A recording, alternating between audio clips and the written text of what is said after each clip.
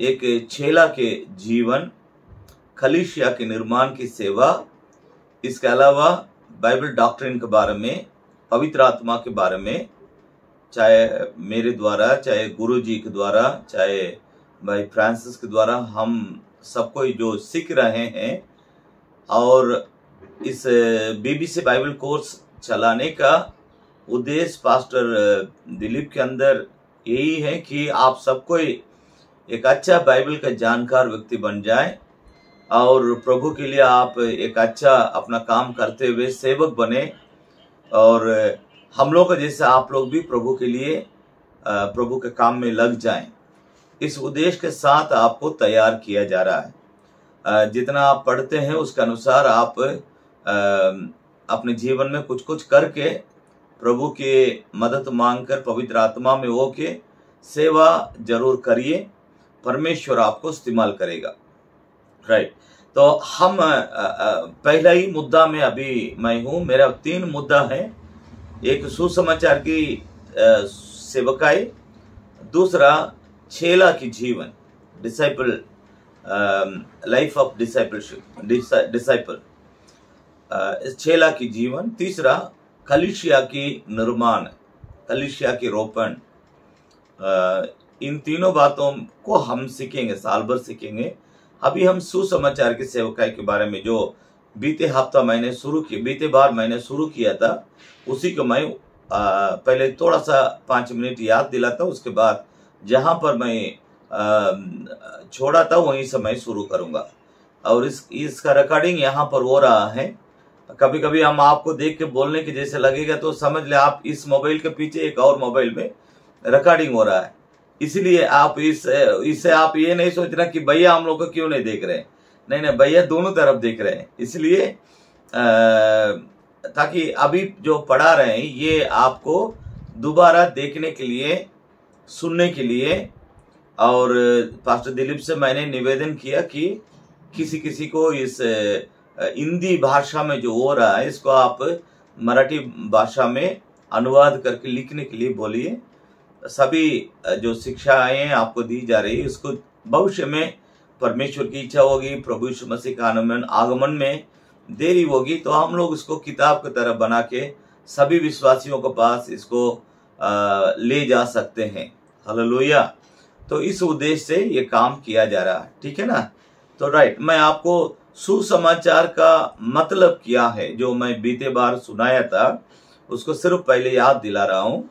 क्रूस की मृत्यु के द्वारा प्रभु यीशु मसीह ने मानव जाति के लिए जो कुछ किया था, उसको बताना ही सुसमाचार करके मैंने कहा था। मैं आपसे कहा था, मैं दस बात को बोलूँगा करके मैं आपसे कहा था। समय के अभाव होने के कारण हम लोग दस बात को हम लोग सीख नहीं सके, पाँच बात को हम सीखे थे। हम पाँच बात को पहले याद दिला रहे उसके बाद हम आपको छह से दस तक आज आपको सिखाएँगे। सबसे पहली बात, आप बीते बार लिख दिए होंगे तो दोबारा मत लिखिए। अभी आप अगर आज की क्लास में आए तो आप लिख सकते हैं, नहीं भी लिख सकते, कोई बात नहीं, आपको रिकॉर्डिंग भेजा जाएगा। क्रूस की मृत्यु, प्रभु यीशु मसीह की जो हुई थी, उस मृत्यु के द्वारा उसने संसार भर में रहने वाले मानव जाति के लिए क्या किया है? इसके बारे में लोगों को समझाना ही सुसमाचार है। और दूसरा, एक पापी मनुष्य अपने आप को पापी करके निरुत्तर करना, दूसरा उसके लिए एक उद्धारकर्ता की ज़रूरत ज़रूरत है, इस बात को उनको सिखाना ही सुसमाचार है। तीसरा, जो व्यक्ति मन फिरा लिया या अपने आप को पापी करके समझ लिया, उसको किसी एक कलिशिया में उसको अंग बनना है। और अंग बनने के बाद प्रभु यीशु मसीह को दिल से अपनाना है। ये तीसरी बात है। इस बात को उनको समझाना है। सुसमाचार के मतलब इस बात को, इन तीनों बातों को स्टेप बाय स्टेप उनको सिखाना, समझाना। चौथी बात, हम इस काम को, इस सेवकाई को करते समय, अर्थात सुसमाचार की सेवकाई करते समय संपूर्ण तौर से पवित्र आत्मा की सहारा लेकर के करना है। सुसमाचार प्रचार करना है। पवित्र आत्मा के बगैर हम कुछ नहीं कर सकते। इसके बारे में अलग से आपको ट्रेनिंग प्रशिक्षण दिया जा रहा है। आप उसको ज़रूर उसमें सीखेंगे। लेकिन याद रखिए, चार पॉइंट में हमने आपसे कहा कि इस सेवकाई, कोई भी सेवकाई सभी सेवकाई को करने के लिए पवित्र आत्मा का मदद चाहिए। बगैर पवित्र आत्मा के हम कोई सेवा नहीं कर सकते। हैं ज़रूर अगर हम ऐसा करते हैं, पवित्र आत्मा के अभिषेक के बगैर, पवित्र आत्मा के सामर्थ्य के बगैर, पवित्र आत्मा के वरदान के बगैर हम सेवा करते हैं, वो किस प्रकार होगा उसको समझ लीजिए। मान लीजिए किसी कंपनी में आप काम कर रहे हैं, एक पूरा महीना काम किए, अगर आपको वेतन नहीं मिलेगा तो कैसा लगेगा? मजदूरी, महीना का सैलरी, जो आपको मिलना चाहिए, तीस दिन, इकतीस इकतीस दिन काम करने के बाद जो मिलना चाहिए, अगर आपको वो नहीं दिया जाएगा तो कैसा लगेगा? तो इसका मतलब आपने मेहनत कर दिया, प्रतिफल आपको जो मिलना चाहिए था, वो नहीं मिल रहा है। इससे आप समझ सकते हैं, पवित्र आत्मा हमारे लिए, सेवकाई के लिए बहुत ज़रूरी है। हम पवित्र आत्मा के बगैर कुछ नहीं कर सकते हैं। अगर हम कुछ करते हैं, उससे हम सफल नहीं हो सकते हैं। इसी कारण प्रभु यीशु मसीह ने चेलों से कहा। मरने मरने से पहले भी कहा कि मेरे बाद में तुम्हारे लिए एक सहारा को मैं भेजूँगा। मैं मरूँगा गाड़ा जाऊँगा, तीसरा दिन जी उठूँगा, स्वर्ग जाऊँगा। मेरे जाने के बाद तुम्हारे लिए एक सहारा, पवित्र आत्मा तुम्हारे लिए दिया जाएगा। और इसी कारण जी उठने के बाद, जब जीवित था उस समय में भी कहा था जी उठने के बाद स्वर्ग उठा लिए जाने से पहले प्रभु यीशु मसीह ने कहा, तुम लोग सब के सब 120 लोगों को प्रभु आज्ञा दिया। सबके सब, तुम लोग जाके यरूशलेम में पवित्र आत्मा के लिए इंतज़ार करो। जब पवित्र आत्मा तुम तुम पर आएगा प्रेरितों का काम की पुस्तक पहला अध्याय का आठ पद को मैं बोल रहा जब पवित्र आत्मा तुम पर आएगा तब तुम सामर्थ पाओगे यरूशलेम में समरिया में, युदया में और संसार के आखिरी छोर तक तुम लोग मेरे लिए गवाह बनोगे। तो इससे आप समझ सकते हैं, पवित्र आत्मा पाने के बाद ही, पवित्र आत्मा का अभिषेक को प्राप्त करने के बाद ही, दान बरदान को प्राप्त करने के बाद सेवक लोग संपूर्ण तौर से सेवा में लग गए थे। इस कारण उनकी सेवा में बहुत ज़्यादा उनके लिए प्रतिफल मिला है। परमेश्वर ने उनकी कामों में अपना मोहर लगा के उनको इस्तेमाल किया। आपके अंदर पवित्र आत्मा हो सकता है। मान लीजिए वो आपको अन्य भाषा बोलने का वरदान नहीं मिला आ, और उसके लिए आप उदास निराश होने की ज़रूरत नहीं। प्रभु से मांगिए। अभिषेक आपको पवित्र आत्मा का अभिषेक मिल गया होगा। उसके लिए प्रभु से बोलिए प्रार्थना करके कि प्रभु मुझे अन्य अन्य भाषा बोलने के लिए वरदा आत्मा आत्माओं पवित्र आत्मा में भर के बीमारों के लिए प्रार्थना करने के लिए, चंगाई उनको मिलने के लिए, इन सारे बातों के लिए आप दुष्ट आत्माओं को भगाने के लिए आप हमको वरदान दीजिए, प्रभु ज़रूर देगा। लेकिन एक बात पर ध्यान देना, सुसमाचार की सेवकाई हो या अन्य कोई भी सेवकाई क्यों ना हो उस सेवकाई को करने के लिए हमें पवित्र आत्मा का सामर्थ की ज़रूरत है, पवित्र आत्मा के अभिषेक की ज़रूरत है। ये चौथी बात। पांचवी बात मैंने आपसे कहा था कि परमेश्वर के नाम की स्तुति और प्रशंसा होने पाए। एक व्यक्ति अपने आप को पापी करके वो अपने आप को महसूस करना है और महसूस करने के बाद उसको परमेश्वर का साथ जोड़ना ही सुसमाचार का महत्वपूर्ण कारण है। और उसमें उसको एक एक एक इसमें एक मेन बात क्या है? जब आप किसी को सुसमाचार सुनाते हैं, उसको किसके साथ जोड़ना है? अर्थात उसका जो उद्धार करता है, प्रभु यीशु मसीह, उसके साथ उस व्यक्ति को जोड़ना है। हम भी पापी थे, आप सबको ही पापी थे, हम सबके लिए किसी ने सुसमाचार प्रचार किया हम सुसमय हम सब लोग सुसमाचार सुने हैं और हम सबको सुसमाचार सुनाने के बाद जो व्यक्ति सुनाया था, उसने हमको चर्च में ले गया। उसने परमेश्वर के दासों के साथ हम लोग को जोड़ा। परमेश्वर के दासों को द्वारा सबसे महत्वपूर्ण बात, हमारा उद्धार करता प्रभु यीशु मसीह के साथ हमें जोड़ दिया था। इस कारण हम सबको आज तक प्रभु यीशु मसीह के साथ हैं। इस बात को समझ लीजिए। ये जो आपके साथ हुआ है, वही आप दूसरों के साथ करेंगे बाइबल के वचन के अनुसार। अब उनको उद्धारकर्ता को उद्धारकर्ता के बारे में उनको समझाना। मैं पांचवी बात को ही बोल रहा हूँ, वही से समय स्टार्ट कर रहा बीते हफ़्ता वही, बीते बार में वही वही पर रुका था। प्रेरितों का काम बुक ऑफ़ एक्ट्स प्रेरितों का काम की पुस्तक, उसकी चार अध्याय, उसमें बारह पद।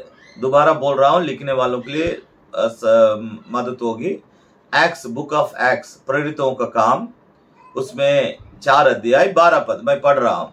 किसी दूसरे के द्वारा उद्धार नहीं, क्योंकि स्वर्ग के नीचे मनुष्यों में और कोई दूसरा नाम नहीं दिया गया, जिसके द्वारा हम उद्धार पा सकें। दूसरा कोई नाम नहीं दिया गया, दूसरा किसी नाम से उद्धार नहीं। केवल प्रभु यीशु मसीह के नाम स्वर्ग से हमारे लिए मानव जाति के उद्धार के लिए दिया गया है। इसीलिए उसी प्रभु यीशु मसीह के नाम से ही हमारी उद्धार होगी।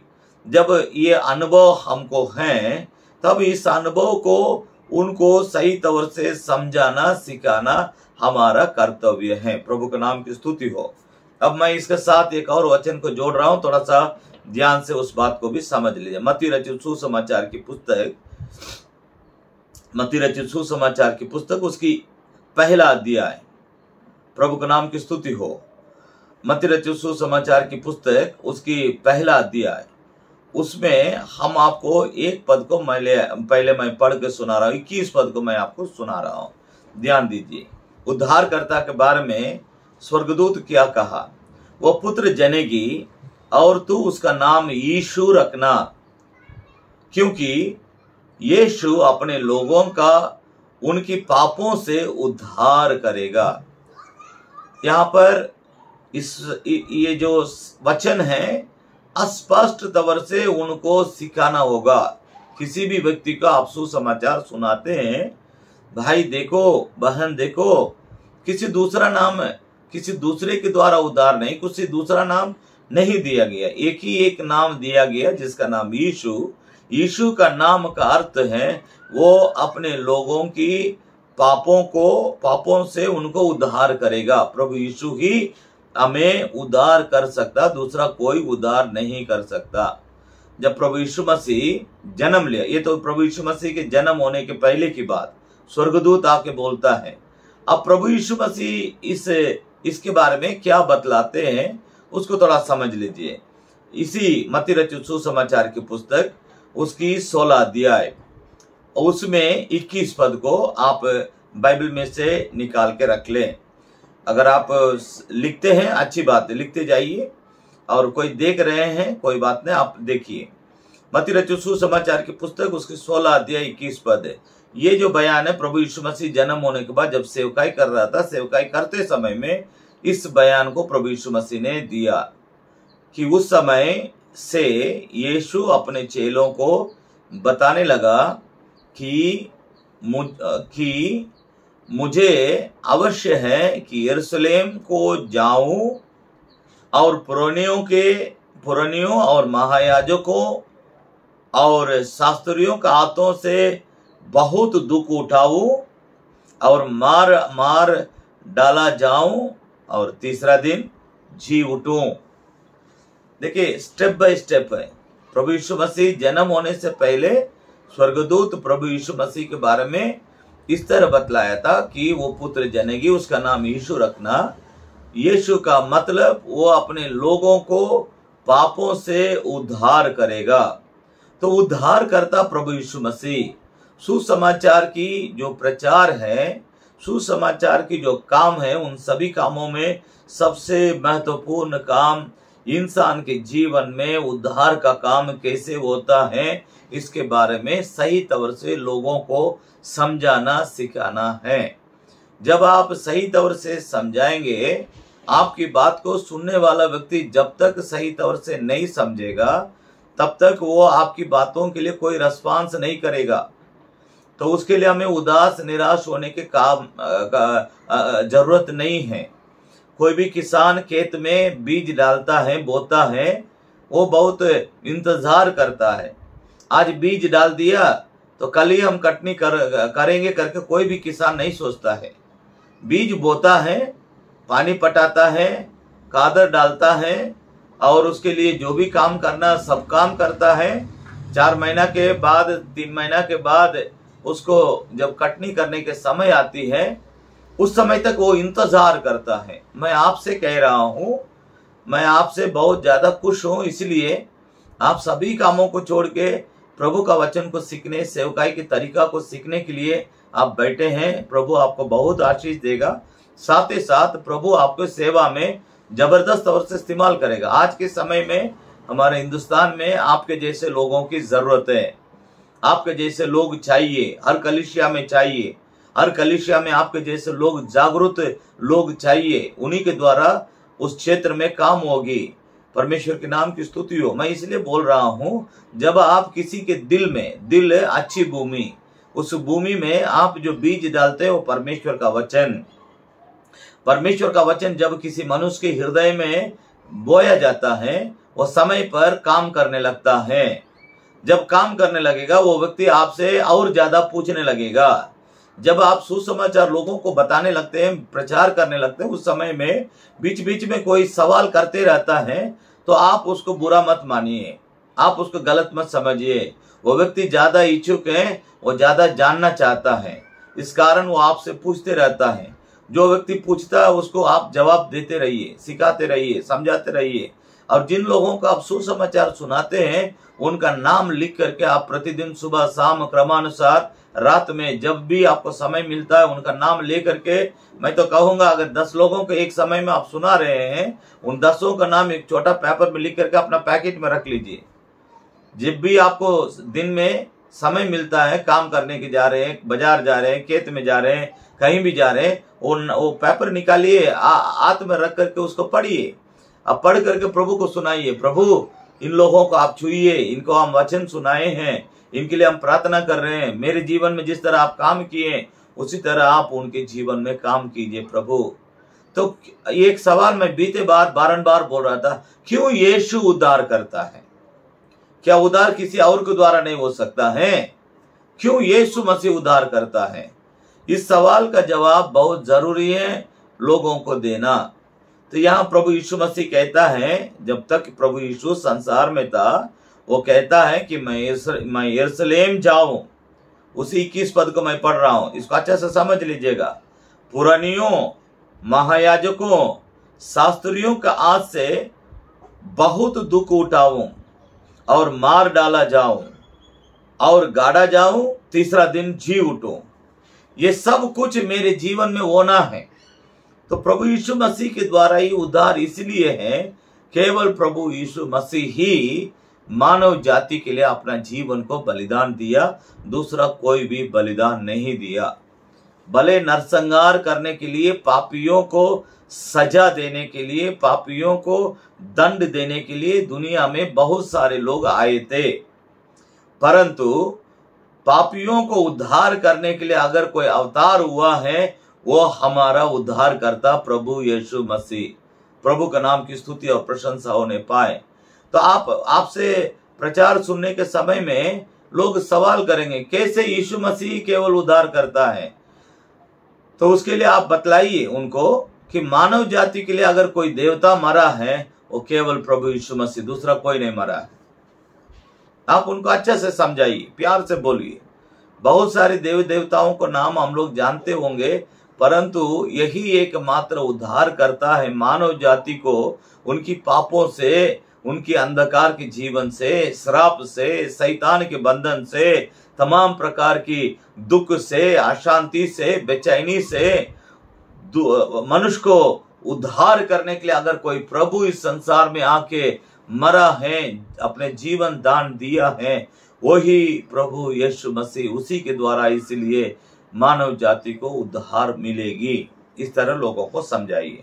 तो आप, आपकी जानकारी के लिए मैं एक और बात यहाँ पर जोड़ रहा हूँ। क्यों प्रभु यीशु मसीह केवल उद्धार करता क्या किसी और के द्वारा उद्धार नहीं हो सकता? मैं पहले एक वचन आपको सुनाया था प्रेरितों का काम चार अध्याय का बारह पर। दोबारा पढ़ने की ज़रूरत नहीं, दोबारा आपको जानकारी मैं दे रहा हूँ। वहाँ पर प्रभु यीशु मसीह के बारे में बतलाया जाता किसी और नाम के द्वारा उद्धार नहीं। आकाश के नीचे हम मनुष्यों में समस्त वर्ग, समस्त दुनिया भर के लोगों के उद्धार के लिए एक ही एक नाम दिया गया है, वह नाम प्रभु यीशु का नाम। प्रभु का नाम की स्तुति हो। दूसरा कोई नाम नहीं है, एक ही नाम के द्वारा उद्धार है। दूसरा, आपकी जानकारी के लिए मैं बोल रहा हूँ, इस पांचवी बात को ही मैं बोल रहा हूँ, ध्यान दीजिएगा। पहला कुरिन्थियों के पत्री, उसकी पंद्रह दिया सुसमाचार की आ, अम, इसकी अम, एक इतिहास की ऐतिहासिक सत्य क्या है? सुसमाचार के बारे में। पहला कुरिन्थियों पौलुस लिखता है इसके इसके बारे में। पंद्रह अध्याय तीसरा पद से मैं पढ़ रहा हूँ तीन से मैं नीचे तक पढ़ रहा हूँ थोड़ा सा ध्यान से आप अपने बाइबल में देख देख सकते हैं। पहला कुरिन्थियों पंद्रह अध्याय ती, तीसरा पद से मैं पढ़ रहा हूँ। इसी कारण मैंने सबसे पहले तुम्हें वही बात पहुँचा दी जो मुझे पहुँच थी कि पवित्र शास्त्र के वचन का अनुसार यीशु मसीह हमारा पापों के लिए मर गया और गाड़ा गया। और पवित्र शास्त्र के अनुसार तीसरे दिन जी भी उठा और कैफा को तब बारह को दिखाई दिया। फिर पाँच सौ से अधिक भाइयों को भी एक साथ दिखाई दिया। अलग अलग से नहीं अलग अलग से दिखाई देता है उसके बाद एक साथ 500 लोगों को दिखाई देता, दिखाई दिया, दर्शन दिया। फिर 500 से अधिक भाइयों को एक साथ दिखाई दिया, जिनमें से बहुतेरे अभी भी, अभी तक वर्तमान है, यानी जीवित है, पर कितने सो गए। सात पद को मैं पढ़ रहा हूँ आठ पद तक पढ़ रहे हैं। फिर याकूब को दिखाई दिया। तब अ, सब प्रेरितों को दिखाई दिया और सबके बाद मुझे भी मुझको भी दिखाई दिया। पौलुस बोलता मुझको भी दिखाई दिया जो मानो अधूरे दिनों का जन्मा हो। प्रभु का नाम की स्तुति हो। पौलुस अपने बारे में भी कहता है चेले लोगों के बारे में कहता है 500 से अधिक लोगों को एक साथ एक जगह में वो अपने आप को प्रकट किया, दिखाई दिया। मैं इन बातों को इसलिए बताया था कि किसी आपको पहले ये कॉन्फिडेंट एकदम पक्का, परिपूर्ण विश्वास होना चाहिए कि हमारा प्रभु यीशु मसीह कोई इंसान नहीं है, वो ईश्वर है, वो पर ईश्वर का वो पुत्र है।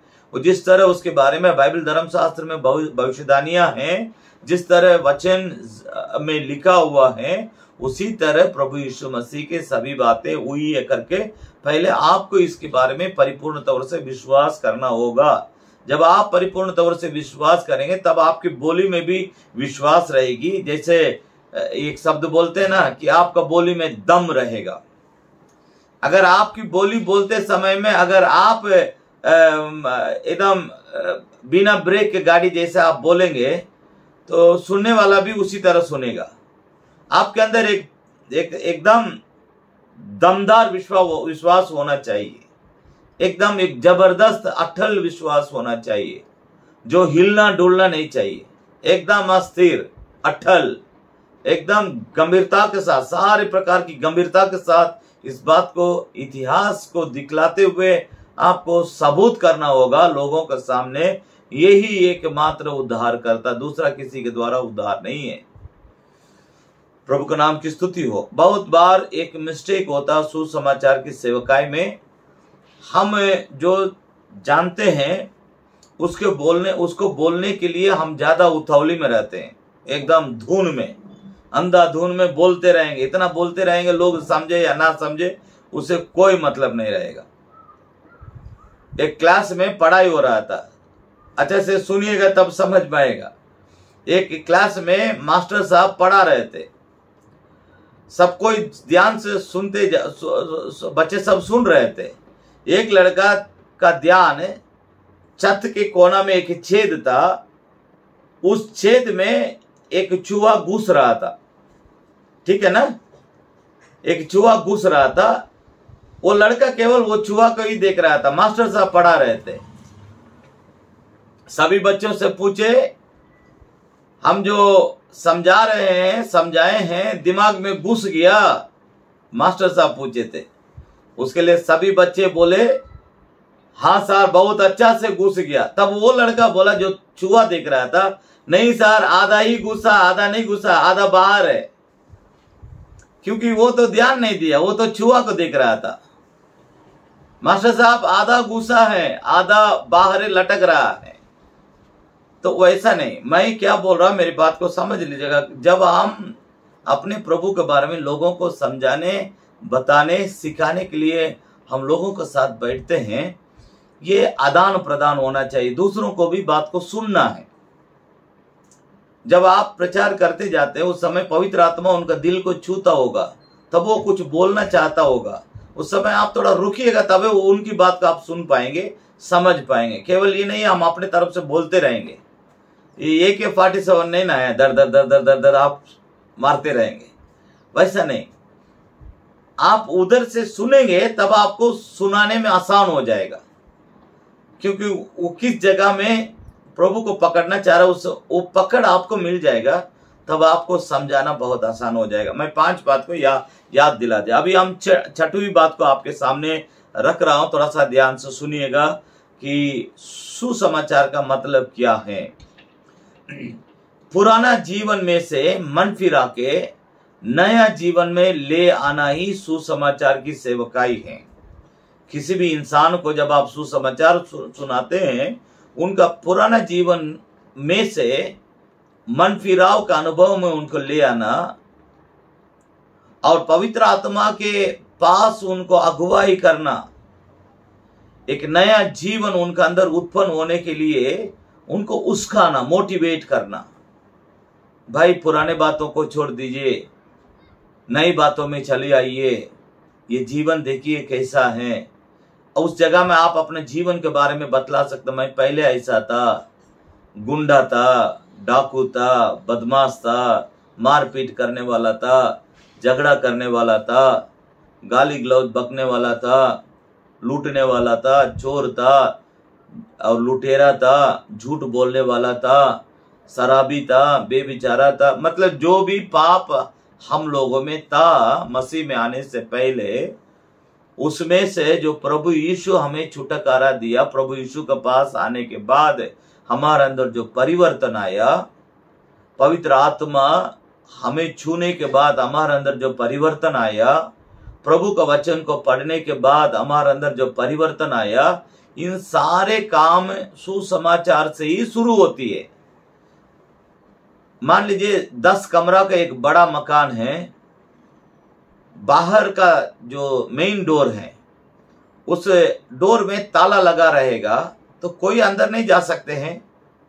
मान लीजिए, आपके पास चाबी है, आप उसको खोलिएगा मेन डोर खोलने के बाद, एक कमरा के बाद दूसरा कमरा दूसरा कमरा के बाद तीसरा कमरा, तीसरा रूम से चौथा रूम इस तरह आप दस रूम में घूम सकते हैं एक एक करके जा सकते हैं। क्योंकि द्वार आप खोल दिए तो उसी तरह सुसमाचार हमारे जीवन को खोलता है। जब आप, हमारे जीवन में सुसमाचार का वचन कार्य करने लगता है, हम सबसे पहले प्रभु यीशु मसीह पर विश्वास करने लगते हैं। उस समय हमारा पाप की क्षमा के लिए हम प्रभु से प्रार्थना करने लगते हैं, वचन को पढ़ने लगते हैं, और बपतिस्मा मन फिरा के बपतिस्मा लेते हैं पुत्र पुत्र पवित्र आत्मा के नाम से। उसके बाद हम पवित्र आत्मा का अभिषेक को प्राप्त करते हैं।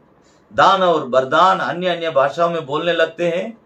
पवित्र आत्मा में हो कि दुष्ट आत्माओं को भगाने लगते हैं। बीमारों के लिए प्रार्थना करते हैं, लोग चंगे होते हैं। ये सब जिस तरह दस कमरा का घर का मेन डोर का चाबी खोलने के बाद हर कमरा में आप जा सकते हैं, जैसे जाते हैं, एक के बाद दो इस तरह आप मसीह में किसी व्यक्ति को जब आप अगुवाई करते हैं, उनका जीवन में इसी प्रकार का अनुभव होता है। एक कमरा से दूसरा कमरा, दूसरा, यानी एक अनुभव से दूसरा अनुभव दूसरा अनुभव से तीसरा तीसरा से चौथा, इसी प्रकार वो व्यक्ति प्रभु के पास आता है। ध्यान दीजिएगा तो दूसरा कुरुतियों का पत्र, उसकी पाँच अध्याय सत्रह पद है। दूसरा कुरुतियों के पत्र उसकी पाँच अध्याय उसके सत्रह पद। यदि कोई मसीह यीशु में है वो नई सृष्टि है पुराने बातें बीत गई हैं देखो सब नई हो गई हैं। जब नई होने के न, जीवन नया जीवन होने के अनुभव में इंसान आता है एक एक करके उनके अंदर का सारा गंदे जीवन गंदे बातें अविश्वास की बातें अशुद्ध जीवन सैतानिक सैतान के आधीन में रहने वाले सारे बातें उनका अंदर से खत्म होने लगता है। वो व्यक्ति नया सृष्टि बनता है। यही आपके साथ भी हुआ, यही मेरे साथ भी हुआ, यही सबके साथ हुआ है। मैं इसके साथ एक और और वचन को जोड़ रहा हूँ। रोमियो की पत्री, उसकी आठ अध्याय। रोमियो की पत्री, उसकी आठ अध्याय। उसमें हम चौदह पद थर्टीन फोर्टीन तो चौदह पद को मैं आपके सामने रखता हूँ, थोड़ा सा ध्यान से समझ लीजिएगा। Romeo, book of Romans eighth chapter fourteen word. इसलिए कि जितने लोग परमेश्वर के आत्मा के चलाए चलते हैं, वे ही परमेश्वर के पुत्र हैं। सुसमाचार एक व्यक्ति को कहाँ तक ले जाता है, देखिए। सुसमाचार जब हम किसी को सुनाते हैं वो व्यक्ति सुनते सुनते, विश्वास करते करते करते करते वो परमेश्वर का पुत्र हो जाता है। प्रभु के नाम की स्तुति हो। हम में से कोई भी, हम जो इस बीबीसी में अटेंड कर रहे हैं, हम डायरेक्ट प्रभु का संतान नहीं बने। हमने हमारी शुरुआत, किसी ने हमको सुसमाचार सुनाया। किसी ने हमारे हमसे अपना जीवन का अनुभव को बतलाया।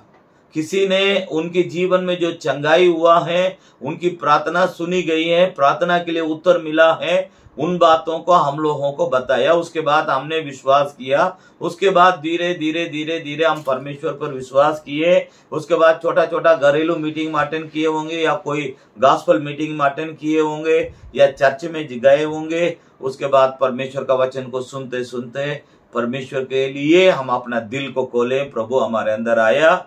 उसके बाद हम मन फिराए, हम पिता पुत्र पवित्र आत्मा के नाम से बपतिस्मा लिए परमेश्वर का संतान बने।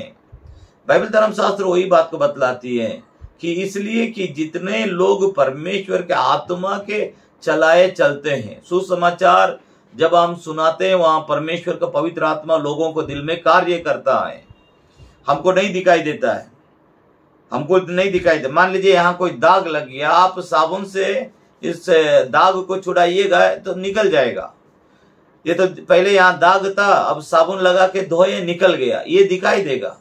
जब आप सुसमाचार प्रचार करते हैं, लोगों को प्रभु के बारे में बतलाते हैं, उनके अंदर क्या काम हो रहा है, वो आपको दिखाई नहीं देगा। लेकिन आप उसके लिए धीरजवंत बनिए किसान के बारे में मैं फिर आपको याद दिला रहा हूँ। जब आप किसी किसान को देखते हैं या आप आपने खेत में गन्ना रोपते हैं तो आज रोप दिए कि कल क्या जी काटने चले जाइएगा ट्रैक्टर लेकर के पचास आदमी को बुला के ले जाइएगा आंसुआ लेके आज कटनी होगा। जब हम उस काम के लिए इंतज़ार करते हैं उन कामों को जानते हैं समझते हैं नहीं नहीं नहीं इसमें इतना महीना लगेगा इतना साल लगेगा उसके बाद ही इसका खटनी होगी। चाहे धान के लिए चाहे गेहूँ के लिए चाहे आ, कोई भी सब्ज़ी के लिए सबका एक अलग अलग समय है। उस समय जब पूरा होगा तबे हम हम आप कटनी कर सकते हैं। तो मैं आपसे ये कह रहा हूँ कि जब हम आँसू के साथ बोएँगे, जय जयकार करते हुए एक दिन काटने पाएँगे, जैसा किसान काटता है। बोते समय में बीज का टोकरी को उठा करके स्वर्ग के ओर देखता है। हे भगवान, जो प्रभु यीशु को नहीं जानता, वो भी बुलाता है। हे भगवान, हे ईश्वर, ये परमेश्वर करके चिल्लाता है। उसके बाद ही जाकर के वो खेत में अपना बीज डालता है। भाई बहन, उसी तरह आप सुसमाचार की सेवकाई का मतलब क्या समझ रहे हैं? अगर आप नहीं समझते, आज समझ लीजिएगा, खेत को तैयार करने के बाद ही बीज डाला जाता है। कोई भी खेती, खेत को पहले तैयार करना पड़ता है। किसी मनुष्य का दिल को, हृदय को, प्रभु का वचन से, आपके जीवन की गवाही से, किसी और लोगों को जीवन की घटनाओं को बतला करके उनका दिल को पहले तैयार करेंगे, उसके बाद बीज रूपी परमेश्वर का वचन को डालेंगे। ज़रूर किसी दिन तीस गुना, साठ गुना, सौ गुना प्रतिफल हमें ज़रूर मिलेगी। इस कारण एक और वचन भी मैं याद दिला रहा हूँ कि परमेश्वर का हम पुत्र होते हैं। जैसे यहाँ पर लिखा है, वे ही परमेश्वर के पुत्र हैं, जो पवित्र आत्मा के द्वारा परमेश्वर। जब हम सुसमाचार सुनाते हैं लोगों को परमेश्वर का आत्मा अगुवाई करता है। कलिसिया में जाओ, इनकी बातों पर विश्वास करो। ये जो बोल रहे हैं सच है। ये जो बोल रहे हैं इस बात को मानो। ये जो बोल रहे हैं, ये जो प्रचार कर रहे हैं, ये जो यीशु के बारे में बोल रहे हैं, उस बात पर विश्वास करो। इस प्रकार पवित्र आत्मा हम बोलने के समय में लोगों को दिल में काम करने लगता है। और वे अंत में परमेश्वर का पुत्र हो जाते हैं। युहन्ना रचित सुसमाचार की पुस्तक उसकी पहला अध्याय, उसमें बारह पद को मैं पढ़ रहा हूँ। देखिए, ये प्रभु यीशु मसीह ने हमें सिखाया है। लोग कैसे प्रभु के पास आते हैं, परंतु जितनों ने उसे ग्रहण किया, उसने उन्हें परमेश्वर का संतान होने का अधिकार भी दिया है। अर्थात अर्थात उन्हें जो उसके नाम पर विश्वास रखते हैं। लोग सुसमाचार की सेवकाई से क्या होता है? हर एक इंसान प्रभु पर विश्वास रखता है। जब तक आप नहीं बोलिएगा, तब तक आप किसी को प्रभु में नहीं ला सकते हैं। मैं फिर कह रहा हूँ, ये ये सबसे अति मुख्य बात है।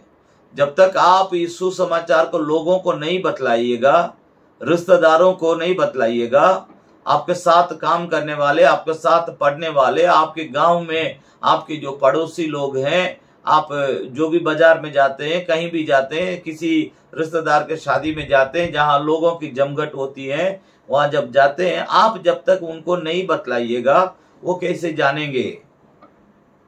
इसलिए जब आप बोलेंगे, तबे वे जानेंगे। जानेंगे तो प्रभु को ग्रहण करेंगे, तब वे भी हमारे जैसे परमेश्वर का संतान हो जाएँगे। इस इस बात के साथ साथ एक एक वचन को मैं याद दिला रहा हूँ, थोड़ा सा उसको भी पढ़ेंगे। रोमियो की पत्र उसकी दस अध्याय, रोमियो की पत्र उसकी दस अध्याय।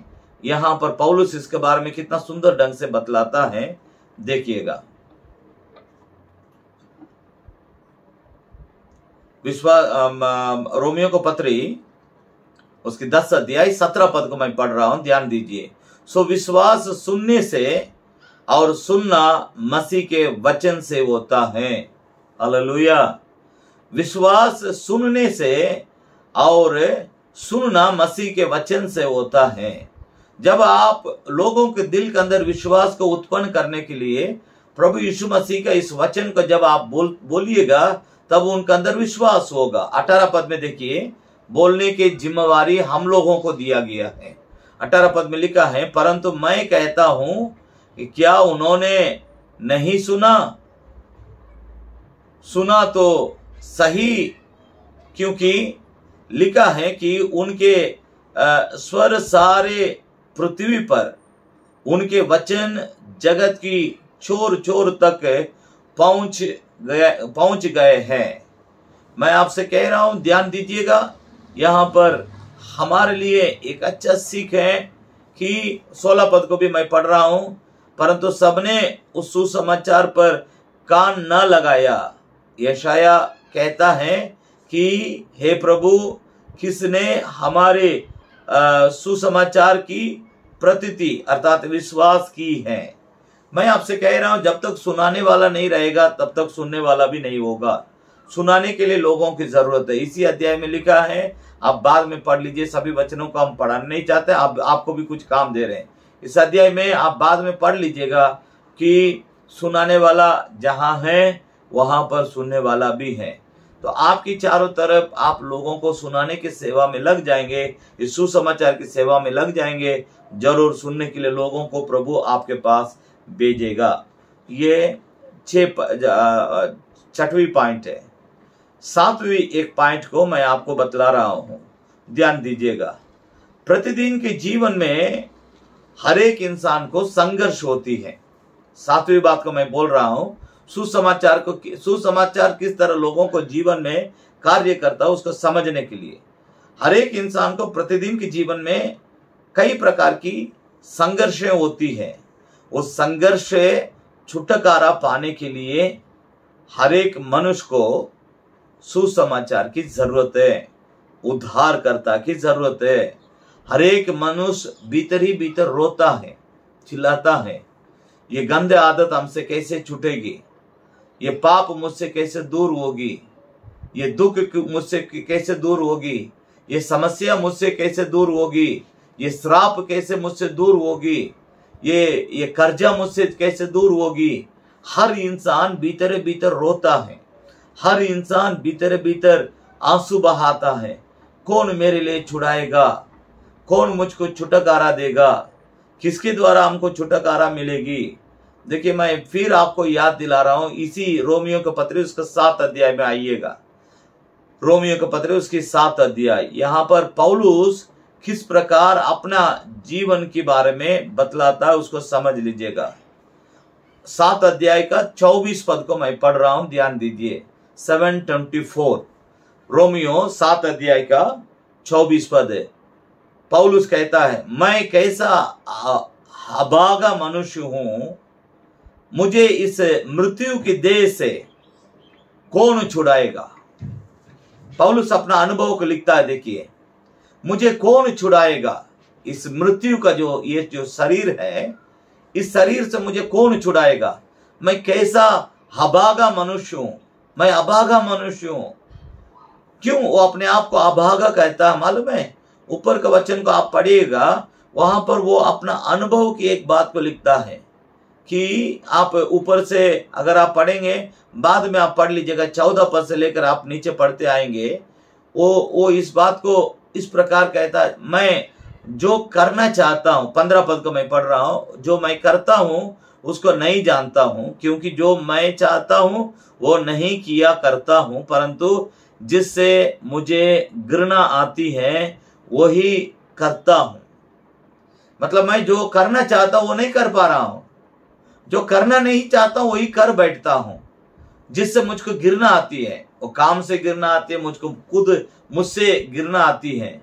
इसका कारण मुझमें जो पाप जो जो मेरे अंदर वास करता है नीचे इसके बारे में और क्लियर कट में बोलता है इसका कारण सत्रह पद को मैं पढ़ रहा हूँ। ऐसी दशा में उसका का, उसके करने वाला मैं नहीं हूँ। किस प्रकार अपना अनुभव को लिखता देखिए।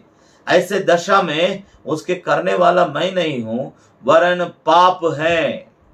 पौलुस लिखता है जो मुझे जो मुझमें बसा हुआ है। देखिए, मैं आपसे कह रहा हूँ, इसको समझ लीजिएगा, मैं मैं तो अभी आपको बोल दिया हूँ, लेकिन आप समय निकाल करके उसका अध्ययन कीजिए। इस सात सात अध्याय को ज़रूर पढ़िएगा। चौबीस पद में कहता है, मैं कैसा अभागा मनुष्य हूँ। इस मरणहार शरीर से मुझे कौन छुड़ाएगा? पौलुस अपना भीतर ये जो उसके अंदर की, जो जो जो उसके अंदर के संघर्ष है उस संघर्ष को लिखता है। मैं जो करना चाहता हूँ, वो नहीं कर पाता हूँ। जो नहीं जो नहीं करना चाहता उसी को मैं करता हूँ। इससे मुझे घृणा आती है। मैं आपसे कह रहा हूँ, पौलुस जैसे एक महान सेवक जो मसीह के साथ इतना घनिष्ठ, नजदीकी रिश्ता रखता था, वो व्यक्ति अपने जीवन के अनुभव के बारे में लिखता है लिखता है कि मैं जो करना चाहता हूँ, वो नहीं कर पाता हूँ। जो नहीं करना चाहता उसी को कर बैठता हूँ। जिससे मुझको गिरना आती है। इसका कारण कि मुझमें पाप बसा है। सत्रह पद में मैं पढ़ा था, बाद में आप पढ़ लीजिएगा। तो मैं इस बात को इसलिए बोल रहा हूँ, आपके सामने जितने लोग रहते हैं, जितने इंसान रहते हैं, सबके अंदर एक संघर्ष हमेशा होते रहती है। सब किसी के साथ संघर्ष है। जीवन एक संघर्ष है। हरेकों के जीवन में संघर्ष है। उस संघर्ष से हर एक व्यक्ति छूटना चाहता है अपने आप को छुड़ाना चाहता है। इंसान अपने आप को छुड़ा नहीं सकता है। इंसान अपने आप को उस बंधन में से बाहर अपने आप को ला नहीं सकता है।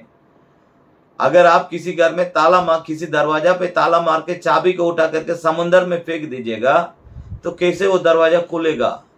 हर इंसान के जीवन समुन्द्र जैसे एक गहरा सागर में डूबने के कारण संघर्ष में है।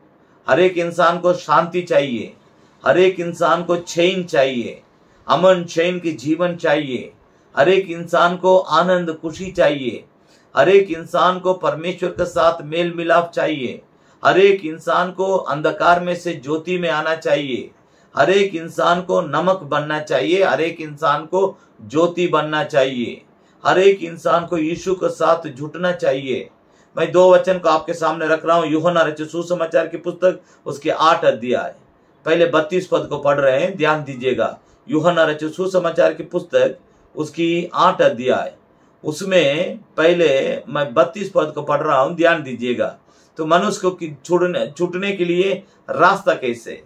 मनुष्य अपने आप को नहीं छुड़ा सकता है। छुड़ाने वाला का पास जब तक नहीं आएगा, तब तक वो छूट नहीं सकता है। युहना रचो सुसमाचार आठ अध्याय के बत्तीस पद है। सत्य को जानोगे और सत्य तुम्हें स्वतंत्र करेगा। परमेश्वर के नाम की स्तुति और प्रशंसा होने पाए।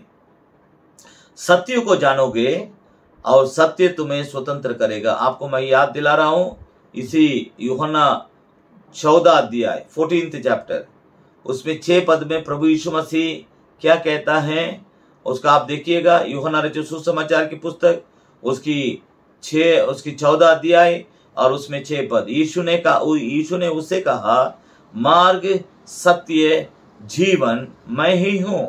बिना मेरे द्वारा कोई मेरे पिता के पास नहीं पहुँच सकता। तो सत्य मैं हूँ, सच्चाई मैं हूँ। मैं ध्यान दीजिएगा, मैं आपको एकदम आराम से इस बात को सिखा रहा हूँ, इसको अच्छा से समझने के लिए कोशिश कीजिए। हर एक मनुष्य को छुटकारा चाहिए। हर एक मनुष्य छुटकारा पाना चाहता है।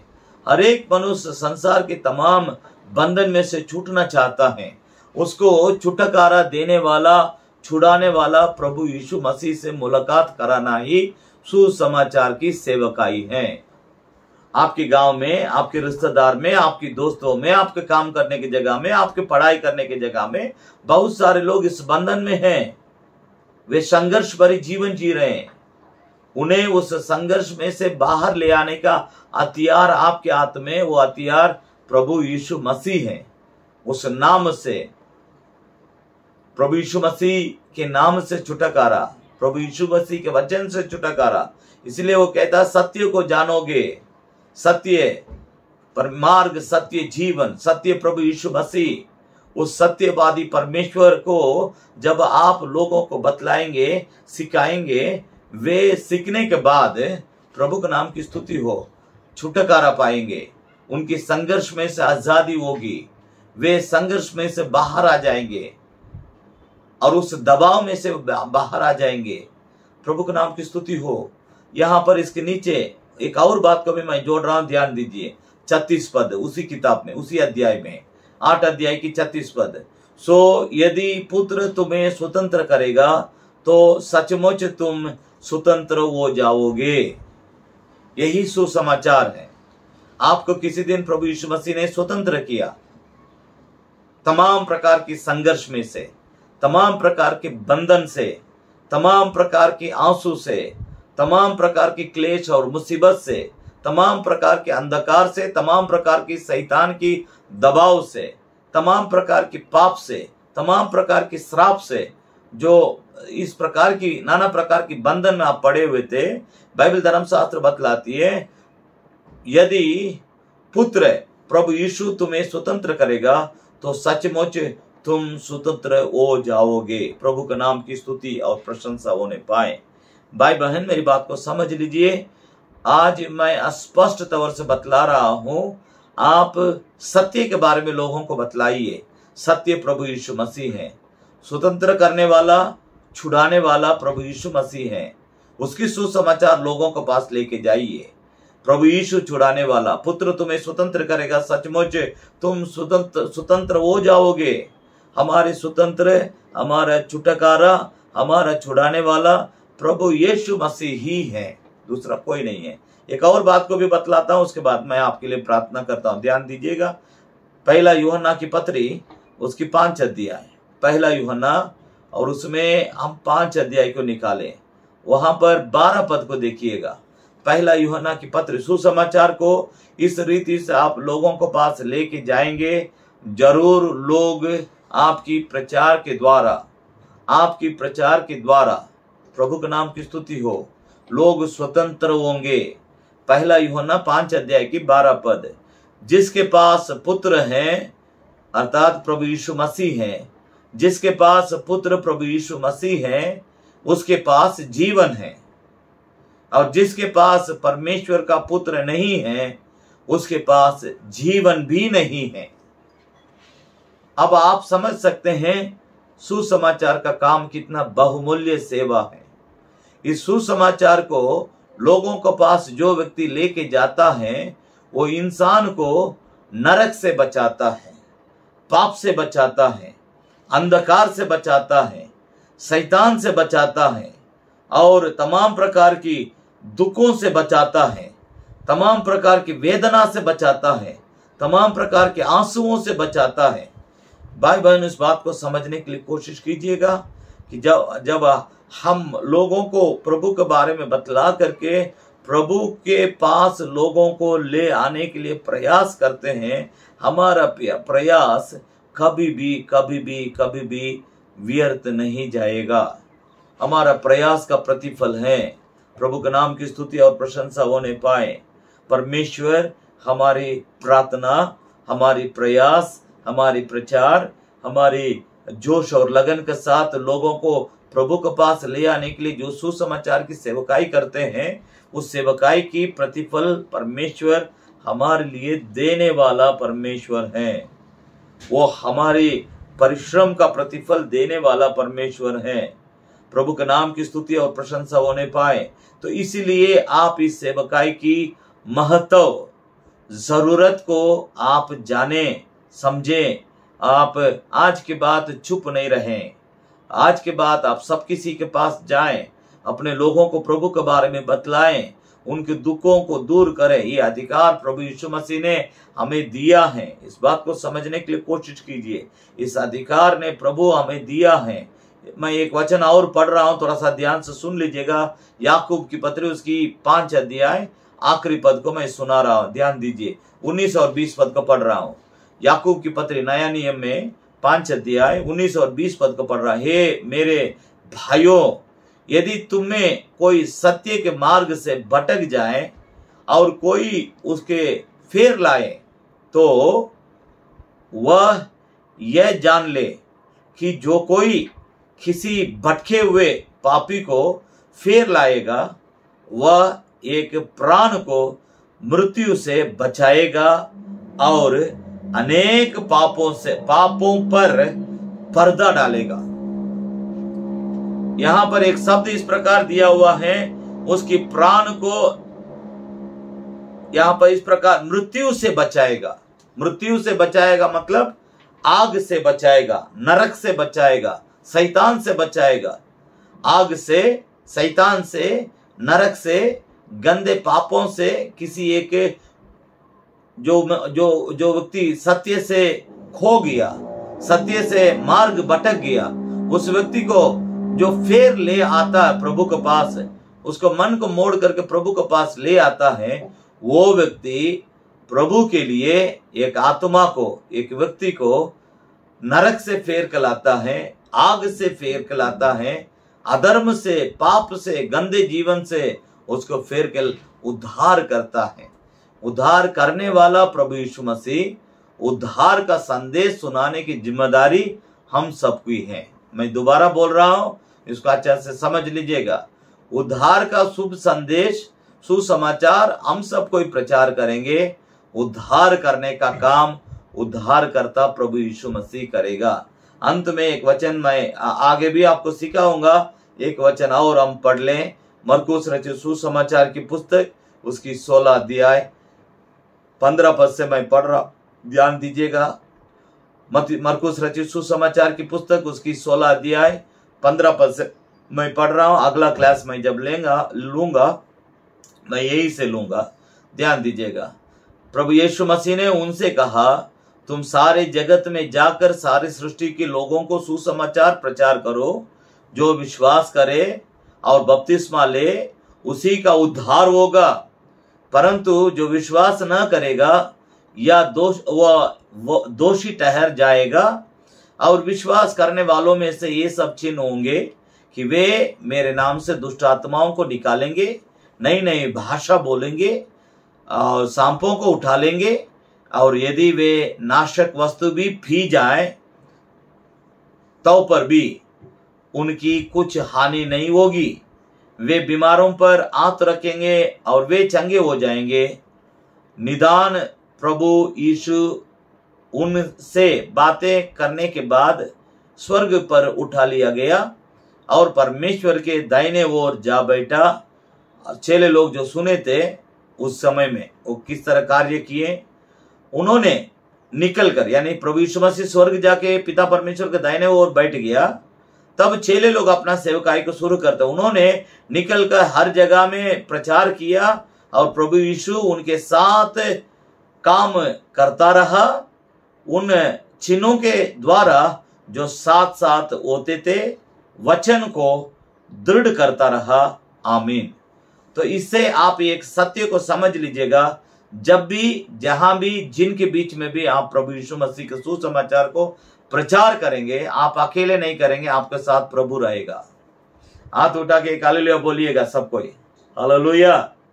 आप अकेले नहीं रहेंगे। जहाँ भी जब भी जिनके बीच में भी आप खड़े होकर प्रभु के बारे में इस सुसमाचार को प्रचार करेंगे वहाँ आपके साथ प्रभु रहेगा। हम इस वचन के साथ रुकते हैं।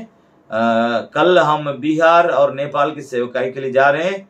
आप सभी लोगों से हमारे नम्र निवेदन है। आप सब कोई मेरे लिए नाम लेकर के लगातार प्रार्थना कीजिएगा। इस हफ़्ता आने वाला हफ़्ता हम क्लास नहीं लेंगे उसका नेक्स्ट हफ़्ता हम लेंगे। तो हम आइए हम सब पे अपने आँखों को बंद करेंगे। हमारे बीच में पास्टर दिलीप आगे अगुवाई करें। कोई एक जन को आप आप करें या किसी को आप प्रार्थना करने के लिए बोलें। प्रभु का नाम की स्तुति हो। Thank you law